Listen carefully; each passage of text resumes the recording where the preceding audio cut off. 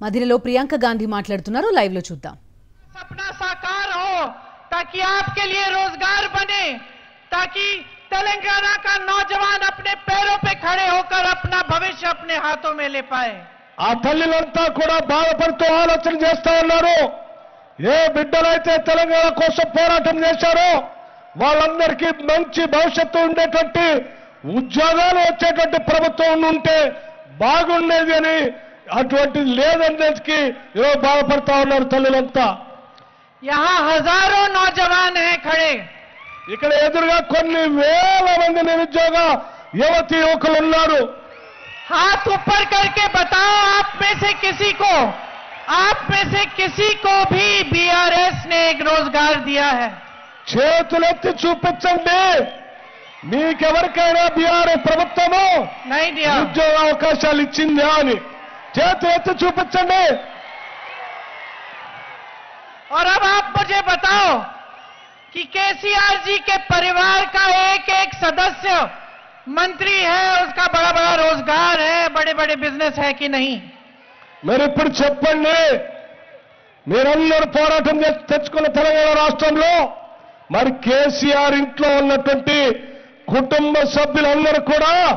మంత్రులయ్యారు పెద్ద పెద్ద వ్యాపారస్తులయ్యారు ఈ రాష్ట్ర సంపదలో వాళ్లే ఏడుతా ఉన్నారు ఇది వాస్తవా కాదని అడుగుతున్నాను आपके प्रदेश में जितने भी बड़े बड़े प्रोजेक्ट हैं उनमें घोटाला भ्रष्टाचार हुआ है, है ఈ कि రాష్ట్రం नहीं ఈ రాష్ట్రంలో ఎక్కడెక్కడైతే పెద్ద పెద్ద ప్రాజెక్టులు ఉన్నాయో ప్రతి ప్రాజెక్ట్ లో కూడా అవినీతి ఒక పెద్ద స్కామ్ ఉందని చెప్తా ఉన్నాను हजारों करोड़ रुपए आपसे लूटे गए हैं आपको छोटा सा छोटे से छोटा काम चाहिए आप कहीं जाते हैं आपसे घूस मांगी जाती है कमीशन मांगा जाता है వేల కోట్లు దోపిడీ చేశారు ఆ వేల కోట్లు దోపిడీ చేయటం వల్ల కమిషన్ల రూపేణా భారీగా దోపిడీ చేయటం వల్లే మనెవరికి ఏమీ రాకుండా పోయిందని బాధ అనిపిస్తా ఉంది और बीआरएस के नेताओं के बड़े बड़े महल हैं बड़े बड़े फार्म हाउस हैं जिनमें से वो निकलते ही नहीं हैं आपके बीच चलते ही नहीं हैं यहाँ हमारे नेता पूरे प्रदेश भर में यात्रा करके निकले आपके बीच आए बताइए उनके कोई नेता ने ऐसे किया है బీఆర్ఎస్ ప్రభుత్వానికి సంబంధించిన నాయకులందరూ కూడా వందల ఎకరాల్లో ఫామ్ హౌజ్లు ఉన్నాయి ఆ ఫామ్ హౌస్లో పడుకొని ఉంటున్నారు వాళ్ళు. వాళ్ళు ప్రజల సమస్యల కోసం బయటికే రారు. వాళ్ళందరూ అందులోనే పడుకొని ఉంటారు. కానీ ఇక్కడ ఉన్నటువంటి బట్టి విక్రమ లాంటి కాంగ్రెస్ నాయకులు వేల వందల కిలోమీటర్ల పాదయాత్ర చేసి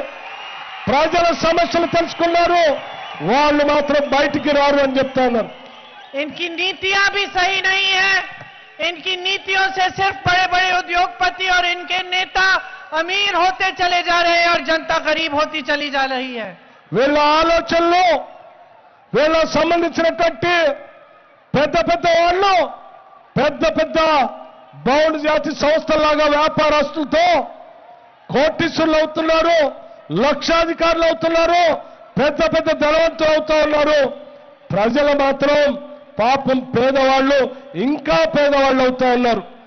इनकी नीतियां ठीक नहीं है और इनकी नीयत भी ठीक नहीं है बहने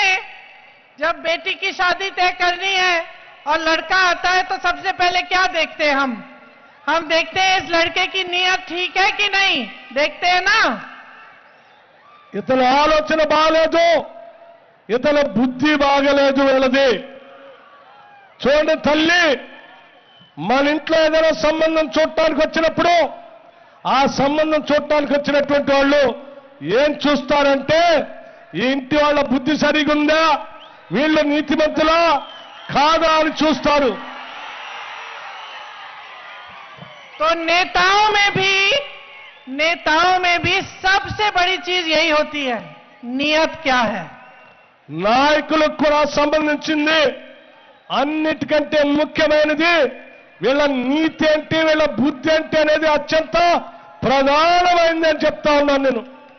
अंदर से क्या है जो बाहर दिखावा हो रहा है वो ठीक है लेकिन ये नेता अंदर से क्या चाहता है బయట కనపడేది కాదు హృదయాంతరాల్లోంచి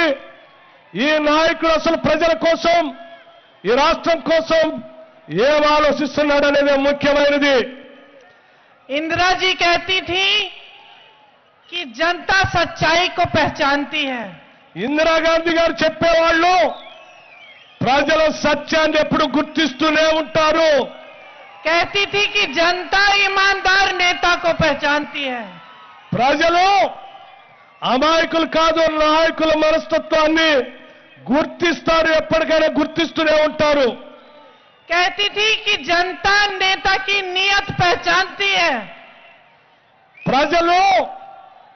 నాయకుల యొక్క బుద్ధి నీతి గురించి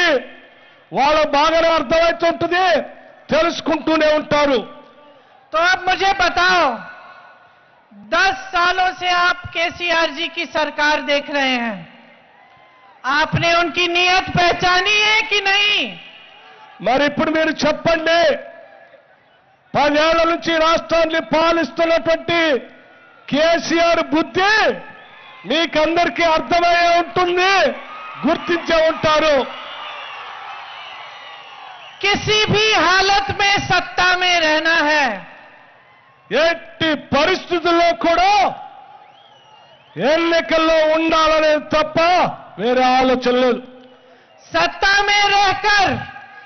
अपने लिए अपने परिवार के लिए अपने नेताओं के लिए जितनी संपत्ति इकट्ठी कर सकते हैं उतनी करनी है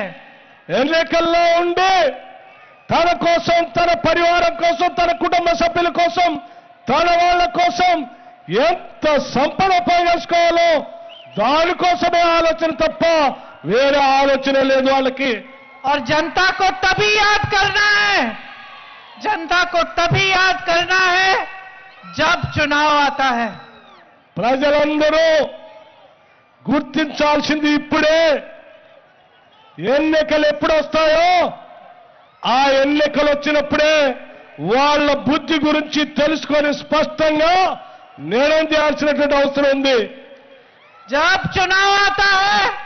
तो जो स्कीम जनवरी में होनी चाहिए उसको एडवांस में अभी से देना शुरू